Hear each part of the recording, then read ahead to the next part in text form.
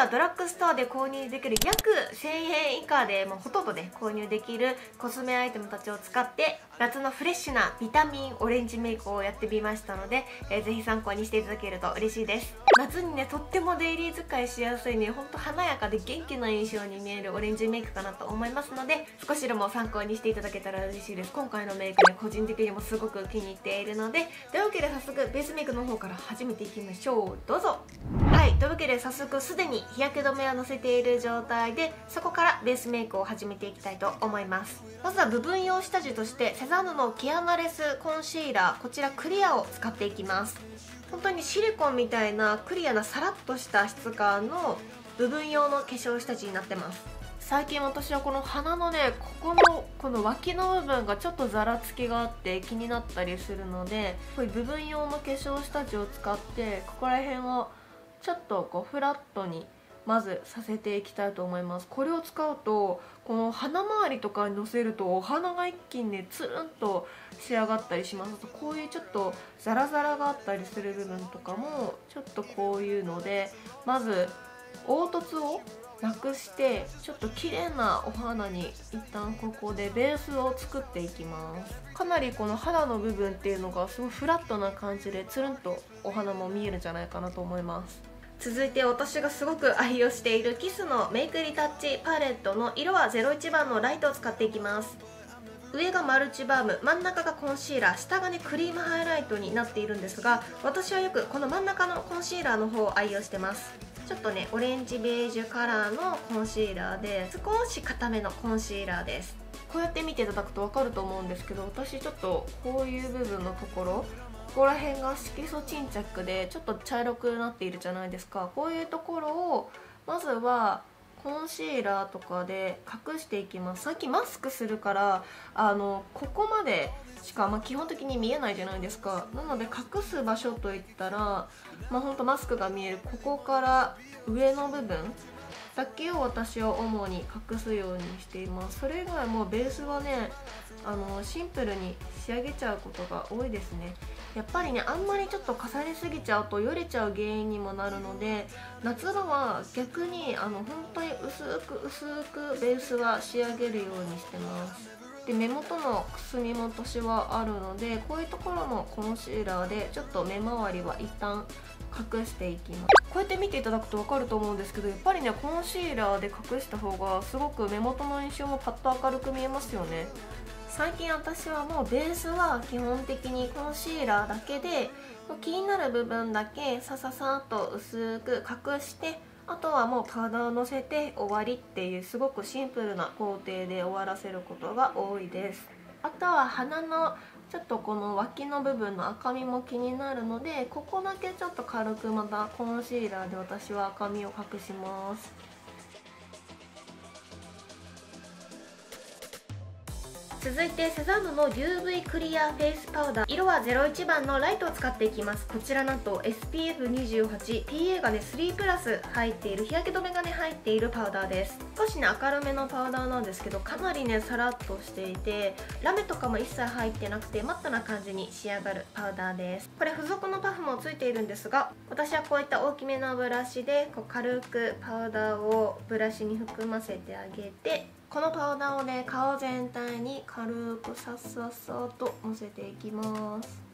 このパウダーねメイク直しアイテムとしてもねすごくおすすめです。日焼け止めがね入っているパウダーでもあるので夏場でもねすごくこう肌をさらっと見せてくれるので毎日メイクとか軽くまあメイクする程度だったら私はこれで十分かなと思います。もしね夏で思いっきり外にいる日とかだったらしっかりとまあもうちょっとファンデーションのせていってあげたりとかした方がいいと思います。最近はとにかくベースはねすごくシンプルに仕上げるようにしてます。続いてはアイブロウですね。最近これもリピ買いで2本目に突入しました。キャンメイトの 3in1 アイブロウで色は01番のブラウンを使っていきます。これねお値段800円なのに細いペンシルとスクリューブラシとパウダーチップがねあのもう3つ一緒にこう入っちゃってるアイテムなのでこれだけでもう眉メイク完成できちゃいます。私はいつもね眉毛の形若干まあ平行眉気味かな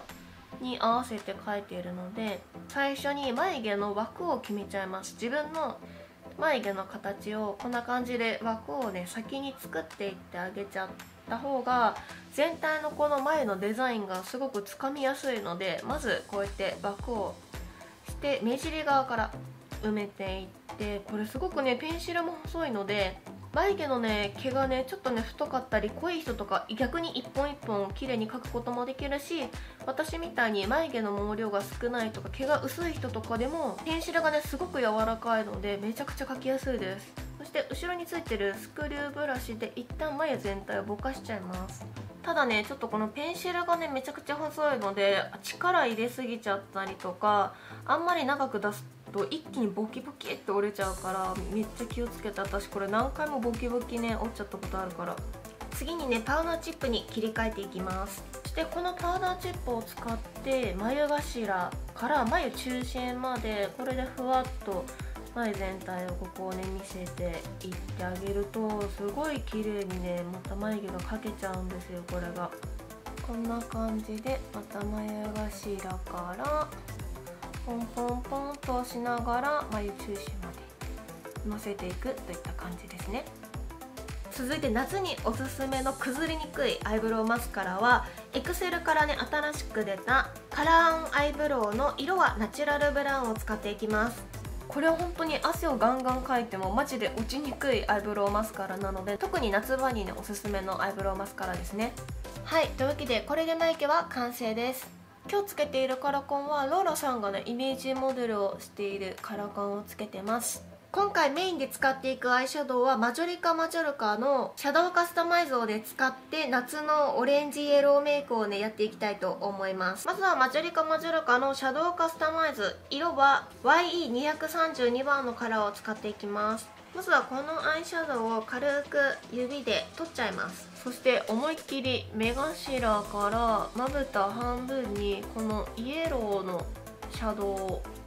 さっさっさとのせていきます。色はねはちみつレモンカラーかな。すごくね普段使いしやすいねイエローシャドウだと思います。同じく魔女魔女で色は OR481 番のオレンジカラーのねアイシャドウを使っていきます。これがね一番夏っぽいカラーですよね。このアイシャドウも同じくまた指にこんな感じで取っていきます。このオレンジのシャドウを目尻側からまぶた半分までこんな感じで指でねポンポンポンと押しながらのせていってあげることですごくね綺麗なグラデーションを作ることができるのでこういうに指を使ってのせていってあげるのではすごく楽ちんだし意外とね簡単にのせれるのでおすすめです。特にねこういうイエローとかオレンジの色の組み合わせは夏にすっごくおすすめなので一気にねビタミンカラーのアイメイクに仕上がります。意外とね指で使った方がすごい綺麗に乗ったりすることもあるので私はま指を使う時もあれば、まあ、場所によってはねやっぱこう筆を使った方が使いやすかったりする時もありますね。このオレンジのシャドウは目尻側にもねちょんちょんちょんとのせていってあげます。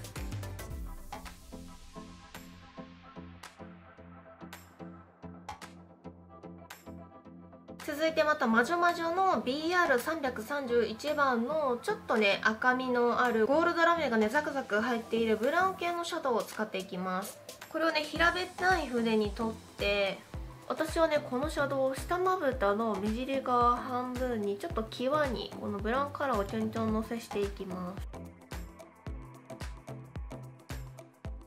続いて涙袋をね今日はぷっくりと見せていきたいなと思うので魔女魔女の BE286 番のゴージャス姉妹という名前のアイシャドウを使っていきます。まずは1回このシャドウを指に取ります。このアイシャドウをまぶたの真ん中にハイライト代わりとしてのせていってあげるとちょっとこうまばたきした時にちょっと上品で綺麗な感じに仕上がります。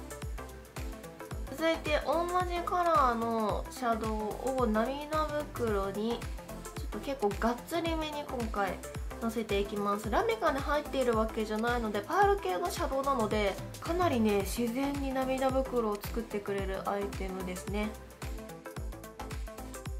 アイライナーはセザンヌのジェルアイライナーで色はブラウンを使っていきます。アイライナーはちょっと目の際に私は特に目頭切開がなくて蒙古ひだがあるタイプの人間なのでちちょっとねブラウンのアイライナーでちょっとここは濃いめにしっかりと入れて目頭をしっかりくっきりと出しつつそして目尻側を横にこう引っ張りながらアイラインを引いていってあげるとすっごくジェルライナーをこうやって引く時描きやすいですね。そしてアイラインを引いたら今回はしっかりとまつげはカールさせてパッチリとした目元に仕上げていきます。続いて渦のモテマスカラの要はコッパーといってオレンジブラウン系の今回カラーマスカラを使っていきます。このマスカラもねパールが入っているのでちょっとねツヤっとしたまつげにも仕上げてくれますね。色はねオレンジブラウン系なのでやっぱこういうねオレンジメイクとかする時にはすごく映えるカラーマスカラだと思います。スカラをね上下しっかりとのせていってあげたらこれで夏のビタミンアイメイクは完成です。続いてチークはキャメイクのパウダーチークスの PW44 番の最近私がかなりヘビロテしているチークカラーです。こんな感じでねゴールドパールが入っていて夏のオレンジチークにねすごくおすすめのカラーアイテムですね、まあ、最近私ねチークを入れる位置は本当この黒目の下ですね。ほっぺの真ん中にちょんちょんちょんと細めのちょっとちっちゃいブラシで入れていってあげます。最近ねメイクを研究してるんですけど私若干頬骨がね出ているのでこんな感じであの出てる人はほっぺの真ん中ぐらいに入れていってあげて私あと顔タイプ診断がねフェミニンだったのでちょっと可愛らしい印象にも見せたいなということでここら辺に私はチークをのせています。クがねこんな感じで角度変えるとすごいほっぺがここら辺とかツヤっと見えるのでお肌がねマット肌な状態でもちょっとここら辺はツヤ感が出るので一気にこう美肌にも見せてくれるチークです。続いてハイライトはセザンヌのパールグローハイライト色は01番のシャンパンベージュを使っていきます。このハイライトをね少しだけ高さを出したい部分だけにのせていきます。私は鼻筋とこの鼻先にもちょんと高さを見せていってあげたいのとあと一番はこの目頭のここですね。ここにやっぱ入れてあげるとすごく一気にツヤ感も出るし鼻もより高く見えるし目周りも一気にパッと明るく見せてくれる部分なのでここは絶対いつも入れてます。続いてメイクの仕上げにリップはキャンメイクのメルティールミナスルージュ。色はティントタイプで T01 番のオレンジカラーを今回使っていきます。これルージュタイプで唇もしっとりするしツヤっと見せることもできるリップなのでこれ1本でリップメイクは完成できちゃいます。色がねすごく夏に使えるオレンジカラーでおすすめです。はい。というわけで今回はドラッグストアに売ってる、まあ、約ね1000円以下で購入できるコスメアイテムたちを使って夏のビタミンオレンジメイクをやってみました。すごくね爽やかでちょっとツヤ感もあるようなメイクに仕上がったんじゃないかなと思います。もっとチークとリップがっつりオレンジ系にしたいっていう人はねえもっとオレンジ系のカラーも使ってもいいんじゃないかなと思います。というわけで最後まで動画を見ていただきありがとうございました。この動画いいなと思ったらぜひグッドボタンとチャンネル登録もよろしくお願いします。というわけでまた次の動画でお会いしましょう。バイバーイ I'd do it on my own, but I'm never alone.